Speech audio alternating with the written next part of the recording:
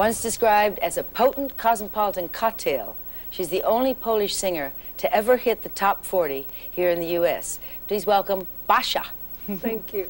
Thanks for coming. Oh, fun to be here. So you are certainly very chic. They can't see it, but you're all in this sort of uh, knee length. Well, they can see the chic from the top up. Yes, of course. The talking head part. But well, you I have to live up to, to the program. I saw you. Thank you. to your fame. So now you were a little girl growing up in Poland yes. during the big solidarity days Oh, and yes. before. How did you discover this this big talent of yours? Um, I had no idea I had any talent. I still don't know, but We do. because some people keep telling me that I should do it. So, um, well, it had started that I, I actually sang always at school. You know, they, they made me perform on the school assemblies, uh, literally since I was maybe six years old. And my family made me sing at parties at home. You know, I remember that when I started, uh, when I, when I started to sing, and my family realized that I have some musicality, I, I sang with my back to everybody because I was too shy. And then my sister, who is two years younger, she sang duets with me. We both like held hands with our backs to everybody. Did But- you come from a big family? Uh, my family, uh, the, the immediate family is quite small because there were four children, I suppose. Four, Four. children, yeah. But my extended family is enormous. That's why, you know, occasions like Christmas and Easter are always the big gatherings, you know, the kind of Italian, uh, you know, feeling because we, we always gather together. And there is a very close feeling in, in my family. Is that common in Poland? I Big think so. families? Yeah, I think so. People really Lucky. live together. I mean, the, the grandmothers and uh, grandparents generally live with uh, with uh, families. In, in England, I'm not sure about America, but in England, people always move out from home and, and everybody lives separately. And, and Christmas is something like uh, a little bit nerve-wracking that they have to get together again, sometimes not seeing each other for the whole year. Not, not such thing in Poland. People really love being close. And though, though they are not very simple, uh, you know, they're very passionate people. So these occasions are never uncomplicated. And even in my family, especially, where people are, have very strong characters and, um, you know, it, it, quite intense. Fireworks? Absolutely, yeah. Lots of lots of lots of things get broken over Christmas. Like you know, we actually unite, and we, you know, we have to pray together, and we have to break the holy bread and wish each other best things. So when that happens, all the animosities disappear. You know, it's, it's a great, great feeling. Something I never experienced in England. I stayed for Christmas a couple of times. It was never the same. I read that you said that you were you feared your father when growing up, but that he wanted you to be a doctor. Yes, my father, very, very strict man. I, I often talk about him because I think he's he's not longer alive, but I feel sometimes that he's around me because uh, I have a lot of traits of his character. Like? Um, quite determined, uh, quite uh, strong character I have, and I'm a big organizer. He was like that, Uh, but I think I like people much more than he did. I think he was quite uh, not aggressive, but uh, he had problems with, with getting close to people, even with his own family. I think we, we all lived in a little fear of him. You know, when my father was coming, every, everything suddenly had, was rearranged. You know, because he lived in a different part of the house, and when he came to see us, you know, it was just always always that trepidation. You know, A uh, visit from the Pope. Or a visit from somebody.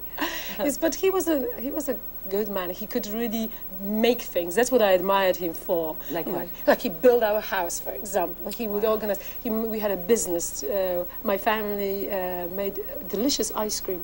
Mm-hmm. And he was the head of this business, and, and he really managed to keep things together. You know, it's just I wish he was a little bit more uh, affectionate with us. Yeah, That would yeah. that would make huge Would that all families were more affectionate.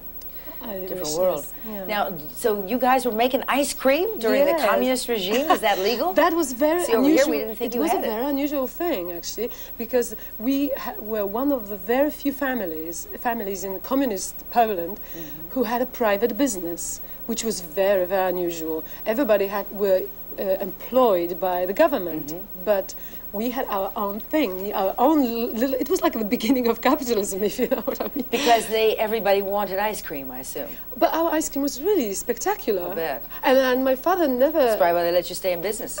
Couldn't replace your ice cream. Well, my father, it's so famous, the ice cream. My, since my father died, um, the business kind of really Mm-hmm. disappeared. My mom couldn't really keep it up. Well, you see, she needed that, my father's strength. Mm-hmm. But uh, uh, people till now ask about it, you know. They ask when we're going to do it again. Where? What was it called? Oh, it was my father's name, Which one? Socholewski. Where was the damn Shilowski ice cream? Where is it? They want it back. That's right. well, my, my, my, my brother has a hi-fi store in the same place now. It's not the same. Not as great ice cream. No. No, no. Legendary ice cream. Absolutely. Okay, we're gonna go get some ice cream. So let's take some, a break, and we'll be back with uh, singer Basia. I'm glad you made it to the reunion. Back with singer-songwriter, platinum album maker Basia. Now you moved to Warsaw when you were 15, right? What did you hear growing up in Poland? What kind of music? Did you hear all the, the whatever the hit rock and roll from U.S. was? And That's what people are always surprised about because the great thing about Poland, in spite of the fact that it was impossible to get records in the shop because, uh, first of all, our music in, record industry at that time was terrible, and and the records that were available were very expensive. They were just imports from from the West, you know.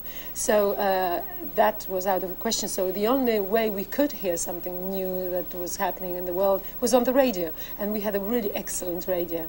And uh, the radio was so accommodating that they would play whole songs from the beginning to end, sometimes the whole LPs at that time. So we can tape. So I had tons of records, taped, so freshly bootleg tapes. well, almost. Uh, that's right, but it was completely legal course, because it's from the fine. It's radio. You know, so I had new releases almost the same week as they came out. And then you trade them amongst friends and everything. Well, my friends weren't as passionate about about music as I was, but they knew that uh, that if they need a, a par- music for the party or whatever they organized, I was the main supplier Come and I was a DJ. That's right, come to Russia. So now, how did a girl from Poland who grew up listening to American music on the radio Mm.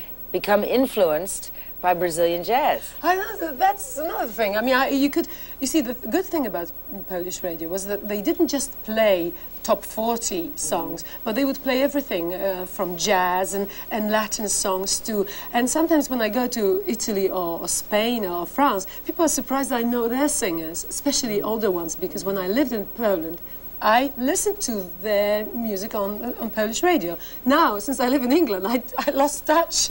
Isn't it strange, really?